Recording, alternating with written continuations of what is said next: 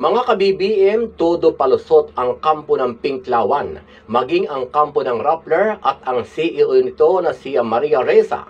Ito ay matapos ang uh, pagkakalat nila ng fake news kamakailan na di umano ay hindi makakapunta si Pangulong Bongbong Marcos sa US dahil aarestuhin siya. Pero sa katatapos lang na state visit ni Pangulong Marcos sa United States, kung saan nga po ay uh, halos siya ang naging laman ng international news dahil sa kanyang naging performance at hinangaan ng world leaders. Dahil dito, iyak na naman at dismayado ang mga dilawan lalo na ang kanilang lutang na ina na si Ate Linlin. Ang matindi dito mga ka-BBM ay nung nasa sitwasyon na na nagkausap at nagkaharap si Pangulong Marcos at ang US President na si Joe Biden kung saan ay talaga namang pinahanga ni Pangulong Marcos lalo nang nanlumo ang mga nakaabang na dilawang grupo dahil dito sampal na naman sa mga nagpapakalat ng fake news lalo na ang Rappler. Ano kaya ang magiging palusot nila dito? Yan ang ating aalamin dito sa ating latest news ngayon. At para po sa mga hindi pa nakasubscribe sa ating channel na KBBM News PH, Please subscribe na po kayo, like and comment na rin po para sa patuloy na paghatid natin ng mga makabuluhang balita. Maraming maraming pong salamat. Iniwala ang Palasyo Malacanang na magagawan pa rin ng paraan at uh, yan ay sa pamamagitan ng rule of law na iiral uh, kaugnay doon sa issue ng uh, bilang teroristang grupo doon sa uh, Communist Party of the Philippines, New People's Army sa kabila ng pagkakabasura doon sa inisyal na kaso na nakasampa sa Manila Court na niniwala ang uh, Palasyo Malacanang na po pwedeng i-refile ang naturang kaso alinsunod na rin sa ginawang konsultasyon doon sa ilang legal luminaries sa hanay ng uh, gobyerno pati na yung uh, tanggapan mismo ng Department of Justice. Inaasahan na maghahain ng panibagong uh, petition ang uh, panig ng pamahalaan sa pamamagitan ng Office of Solicitor General at uh, iba pang mga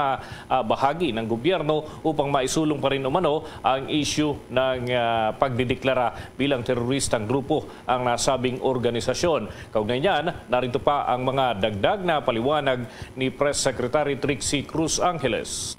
Administration will adhere closely to the rule of law and only to the rule of law.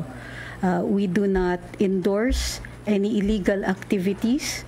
Um, and we have relied on the statement of the Secretary of Justice saying that uh, this particular case can be refiled uh, or is to be refiled under the Anti-Terrorism Act. So there is no need for a reaction regarding, you know, on the part of the administration, as strictly on the part of the administration, there is no need to react about the decision since there is a different regime now, a different legal regime, which is the Anti-Terrorism Act.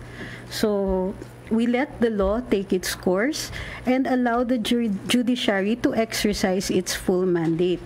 The SOJ will be directing anyway the filing of a proscription case in the Court of Appeals as prescribed by the Anti-Terrorism Act. Nakatakda na ang ipagpatuloy ng Commission on Elections ang pag-imprenta ng mga balotang gagamitin sa barangay at sangguniang kabataan elections sa December 5.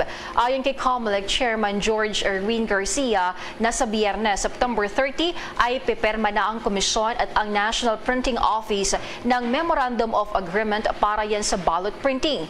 Paliwanag ng opisyal na kailangan ng simula ng printing of ballots para hindi sila kapusin ng panahon sakaling matuloy matuloy ang barangay at SK elections.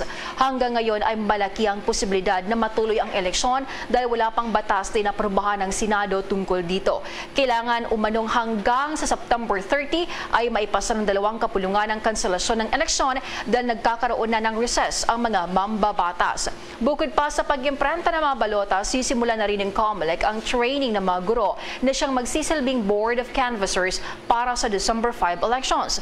Ngunit kung hindi naman daw matutuloy ang halalan, magagamit pa rin daw ang mga balot at iba pang election paraphernalia para sa susunod na taon. Aminado si Garcia, aabot sa 18.41 billion pesos ang matitipid ng pamalaan kung iantala ang halalan. Subalit ganito rin naman daw ang magagasto sa susunod na taon kung matutuloy ang eleksyon. ang linaw po ng sinasabi nila, hindi po makakatuntong ng US si Marcos, Bongbong Marcos, dahil aarestuin, etc., etc. Okay. No? Kaya po yan, yan, yan talaga, why Bongbong Marcos can't go to the US. Yan po mismo yung laman niyan, pinaliwanag ni Marites. Talagang bagay na bagay sa iyo ang ah, ang pangalan mo, Marites Bitug. o ngayon, nasaksihan po natin. Saan po galing si Pangulong Marcos? Sa US. Nag-issue po ba ng apology yung uh, Rappler kay Pangulong Marcos? Hindi po. Ano po ang inisyu nila? Paliwanag. Ha? Hindi raw sila fake news. Bakit daw? Kasi daw, kaya nakatuntong naman si Marcos ha?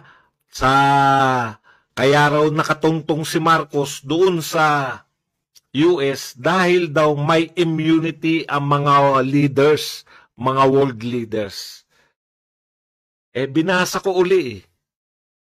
Kung meron bang nakalagay dun sa sinulat ni Marites Bitug, no? Isa kang tunay na Marites Bitug. Ha? May nakalagay ba ron na pag nanalo si Marcos, pwede na makatungtong? Wala po. Wala pong nakalagay dun. Ang sinabi niya, hindi makakatungtong. Lintik kayo, binobola niyo pa kami. Nung nakatungtong, meron na kayong katwiran. Ganyan po yan, Rappler na yan. Nuknukan kayo ng fake news. Fake news kayo. Alam po ninyo, sikat na sikat si Maria Reza dahil Nobel Peace Prize, nagmamakaawa na kala mo, naiiyak-iyak pa yung huling speech niya po. Pinakinggan ko talagang, alam niyo yung arte ni Maria Reza na, na nabibilaukan pa po, yung mga tipong habang nag-speech, yung na, na, napapalunok pa po, sabi ko, best actress talaga tong tao na to. No? Hindi niya raw, hindi niya raw alam ah, na kung, kung baka raw bukas o makalawa, eh, makulong siya, hindi niya raw tiyak. Grabe, parang aping-api si Maria Reza dito o tinanong si Bongbong Marcos na nag-interview po ron.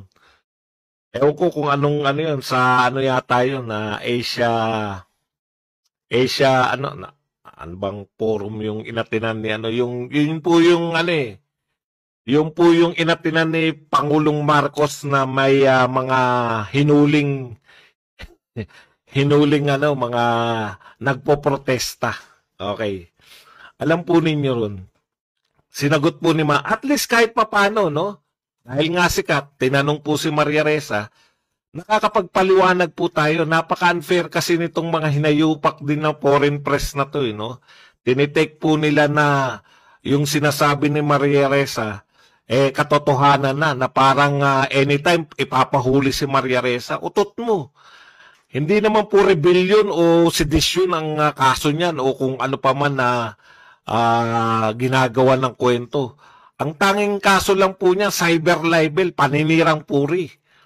At sinabi po ni Pangulong Marcos doon na yung paninirang puri na yan ay uh, ginawa niya yan sa individual na mga tao, hindi po sa gobyerno. Hindi naman po dinidemanda ng gobyerno yan si Maria Reza. Kayo pong mga tao dyan sa ibang bansa, no? foreign press, ha? If you know Maria Reza here in the Philippines, she's nothing, no? She's not even a threat. She's not a leader of opposition. She's nothing here. No? Walang, oh yan. Alam po ninyo, mahal na Pangulo, ah, Marcos. Ipatupad po ninyo yung batas. No? Sinabi ni Pangulong Marcos, updated po siya sa Rappler, na foreign entity ang Rappler, ah, pero nakakapag-broadcast pa rin Winawalang hiya po tayo ng Rappler. Mahal na Pangulong Marcos. No? Patuloy sila nag-ooperate sa Pilipinas kahit bawal dito ang foreign funded na media. Labag po sa konstitusyon ang ginagawa ni Maria Reza ng Rappler. Kaya dapat wala pong above the law. Eh, si Bohong nga, nakakulong eh. Tapos na na-andap kayo dyan kay Maria Reza.